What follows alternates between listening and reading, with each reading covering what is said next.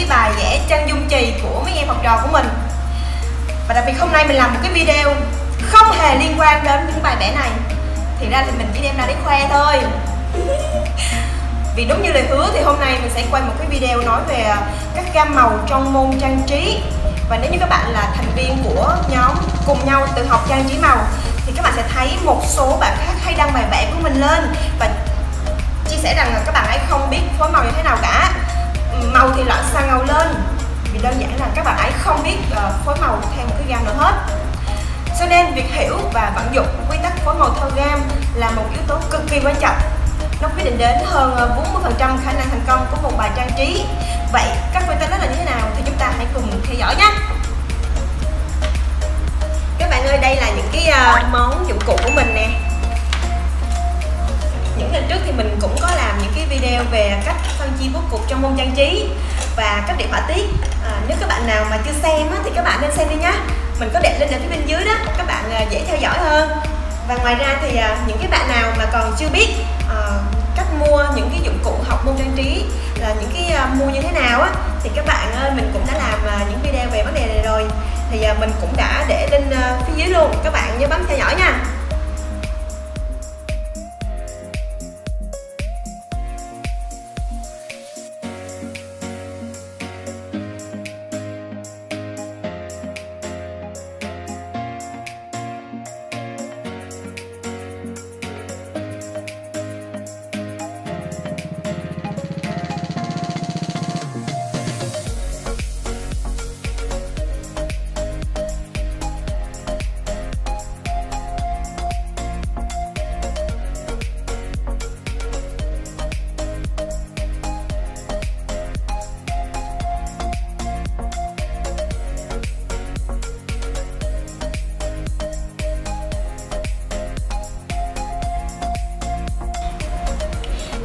Ba mà mình muốn chia sẻ với các bạn đó chính là gam tương phản.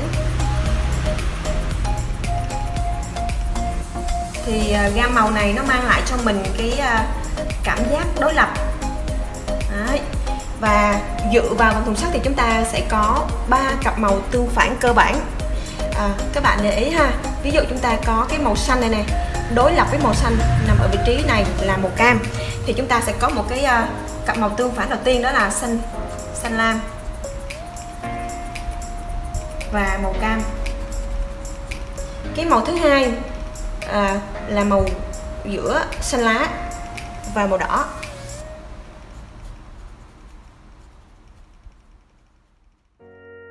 Và cái cặp màu thứ ba đó là giữa màu tím và màu vàng.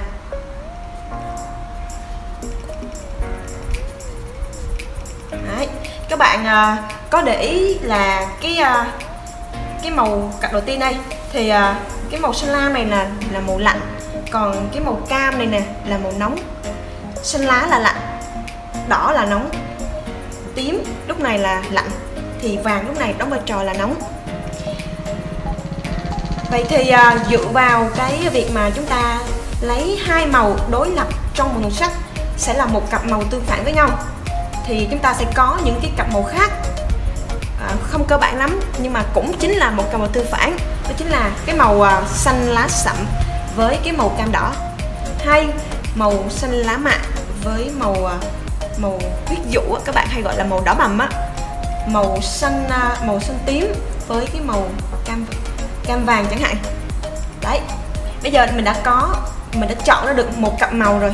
Các bạn lưu nhé trong bài chỉ được chọn một cặp màu thôi có rất nhiều màu thì mình chỉ được chọn một cặp màu tức là chỉ có hai màu trong bài thôi. Và chúng ta đưa vào bài. Vậy đưa như thế nào cho hợp lý? Chúng ta sẽ áp dụng phương pháp à, chia tỷ lệ 73 73 có nghĩa là 70 phần trăm là màu nền. Và tất nhiên các bạn muốn nhấn một cái màu nào đó thì số lượng màu đó rất là ít. Nó chỉ cần chiếm 30 phần trăm là đủ là màu màu nhánh. Các bạn hay phân vân là màu nền thì mình nên lấy màu nào hay là màu nhánh thì nên lấy màu nào.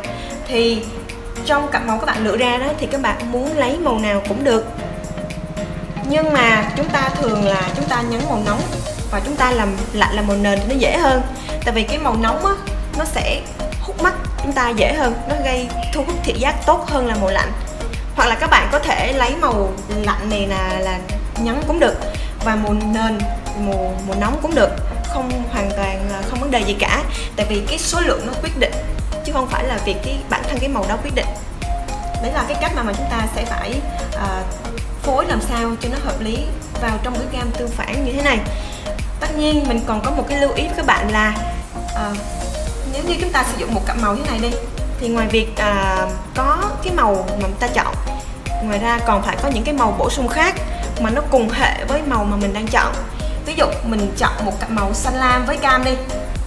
Thì ngoài việc là xanh lam là nó chiếm tầm tầm như đây các bạn. Hay là màu nóng này này chiếm tầm tầm như đây đi. Thì những cái màu khác mà nó liên quan tới xanh lam ví dụ như xanh tím xanh xám xanh lá là lân cận đây này à, của xanh lam đây này hoặc là bên này chúng ta cũng có thể phải đưa vào nếu không muốn cái gam màu của bạn nó bị ờ, đơn sắc quá. Và tất nhiên cái màu nhấn của các bạn cũng phải có những cái màu phụ đi kèm. Ví dụ như cái màu cam là màu chủ đạo trong cái uh, cái cặp màu của bạn đưa vào. Thì dụ mình chọn màu này đi. Các bạn cũng phải có những cái màu tương ứng nó ví dụ như cam đỏ. Chẳng qua cái cam đỏ này nó không còn là cam đỏ quá thì các bạn sẽ pha trộn làm sao cho nó bớt tươi hơn cái màu cam chính của các bạn và cũng theo tỷ lệ sao cho nó đủ 30% trong bài là ok nhất. Ở đây mình có cái bài minh họa cho cái gam tương phản này. Thì ờ, mình ờ, sử dụng cặp màu tương phản giữa xanh lá và đỏ. Thì mình dùng màu xanh lá làm nền, màu đỏ làm điểm nhấn theo tỷ lệ 70% xanh lá và 30% là màu đỏ. Thì nếu như mà chúng ta muốn cái màu đỏ này này nó nổi lên trên màu xanh lá thì bản thân nó phải có những cái độ tươi tắn hơn cái màu xanh lá cái đã và tất nhiên là cái màu đỏ này nó phải có nhất 3 lần chuyển. Đầu tiên chúng ta có cái màu đỏ sáng nhất là màu đỏ này chúng ta sẽ thường là pha với uh, cam hoặc là pha với vàng để cho nó tươi lên nổi bật lên. Thứ hai là cái màu đỏ ở dạng uh, vừa phải tức là nó cũng bản chất là hơi đỏ và nó không được quá sáng. Cái thứ ba là cái màu đỏ này nó phải tối đi mà muốn tối thì chúng ta thường là pha với một chút tím hoặc ta pha với một chút màu xanh có sẵn trong bàn những cái màu đỏ tối như thế này á, nó là vai trò của nó làm cái trung hòa cái màu đỏ với nền. Vậy thì cái màu đỏ nó có 3 độ sáng như thế như thế đấy.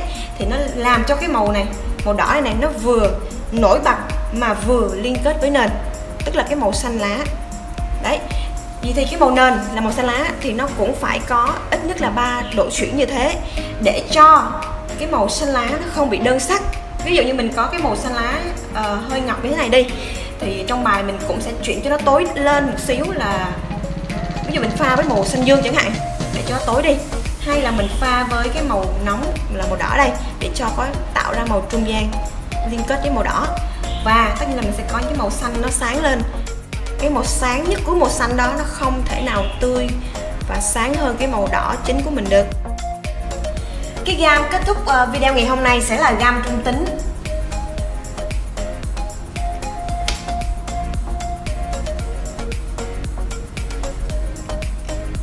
Thì đây là cái gam mà mang lại cảm giác ôn hòa, không nóng, không lạnh. Để cho cái việc mình nhìn thấy nó mát mẻ, nó không quá gắt gao. Vậy thì à, muốn được như thế có phải chúng ta phải cân bằng số lượng màu nóng và màu lạnh trong bàn. Theo tỷ lệ 50 50 có nghĩa là 50 nóng và 50 lạnh. Nhưng mình có một điều lưu ý với các bạn. Nếu như mà chúng ta sử dụng uh, những cái màu hoàn toàn nóng hoặc là hoàn toàn lạnh đưa vào trong bài thì nó sẽ sinh ra một cái trường hợp đó là đối kháng. Các bạn hiểu nôm na là các màu trong bài nó chỏ nhau á thì nếu mà chỏ như vậy thì nó không thể nào ôn hòa được. Vậy thì để tránh trường hợp này chúng ta sẽ phải trung hòa các màu trong bài. Thì cái việc trung hòa này chúng ta sẽ có hai cách. Cách thứ nhất các bạn lấy màu trong bài cộng lại với nhau. Ví dụ như là mình có màu nóng thì mình pha thêm một xíu màu lạnh và màu nóng để bớt tính nóng đi. Đấy. mình có màu lạnh trong bài mình đưa vào thì à, mình phải pha thêm một xíu màu nóng và màu lạnh để bớt tính lạnh của của màu. Và cách thứ hai chúng ta sẽ sử dụng màu tím. Các bạn lưu ý thì bản thân cái màu tím màu tím này là màu trung tính mà nó cũng là màu trung gian nữa. Có nghĩa là cái màu pha ra bởi những màu khác thì là màu trung gian. Khi mà các bạn những cái dùng những màu trong bài các bạn pha với màu tím á, thì nó sẽ giảm cái độ gắt của màu đi nó làm cho cái màu nó dịu hơn. Thì à, như thế màu trong bài mình nó sẽ có sự ôn hòa và gắn kết với nhau hơn. Mình cũng có cái à, bài minh họa cho cái gam màu này. Thì ở đây mình cũng đã à, tuân thủ theo quy tắc là cân bằng số lượng các màu nóng và lạnh trong bài, theo tỷ lệ 50-50 và mình cũng đã pha trộn các màu trong bài với nhau để tạo ra những cái màu trung gian. Các bạn thấy những cái màu nó sẫm sẫm là đó là những màu trung gian. Cái vai trò của nó là kết hợp các màu trong bài với nhau nó tạo sự đổi chuyển trong bài. Rồi, khi mà mình pha trộn thì mình có một cái lưu ý nhỏ với các bạn, đó là khi mình pha trộn các màu tương phản, thì mình phải tránh trường hợp pha tỷ lệ 1 1 nên tránh. Tại vì sao? Tại vì đó là những cái màu tương phản các bạn pha tỷ lệ bằng nhau nó sẽ dễ tạo ra những cái màu chết những cái màu cháy. Các bạn hay gọi là màu dơ đó. Và à, để hình dung thì các bạn liên tưởng tới những cái màu nâu mà nó dơ dơ đó các bạn. Thì để à, tránh cái trường hợp này chúng ta sẽ pha theo tỷ lệ khác. Ví dụ như là hai một chẳng hạn hay là ba một thì sẽ đỡ trường hợp này hơn. À, cái trường hợp thứ hai chúng ta sẽ à, pha màu tím vào trong bài. Tại vì như mình nói hồi đầu thì cái màu tím bản thân nó là màu trung tính những hệ màu tím như thế này nè.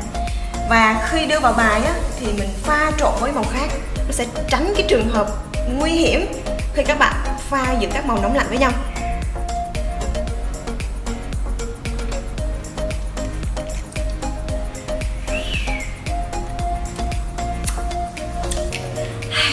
Các bạn ơi mình vừa chia sẻ xong hòa sắc của các gam màu cơ bản trong môn trang trí.